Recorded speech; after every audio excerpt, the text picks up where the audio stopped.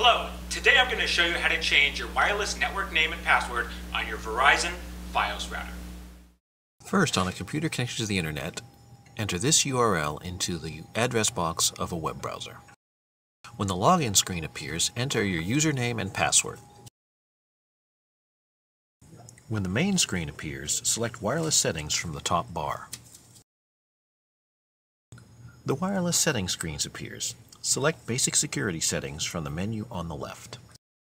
When the next screen appears, change the name of your wireless network by going to step number 2.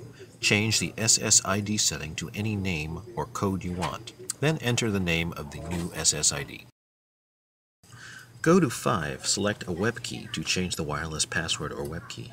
Select the type of WEP key that you want, 6440 or 128.108.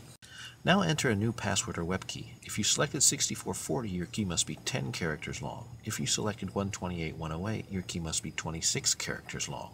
All characters must be hexadecimal. Write down your new wireless network name and password. Then click Apply. Congratulations! You've changed your wireless network name and password on your Verizon Fios router. For more information, go to www.actiontec.com slash howto.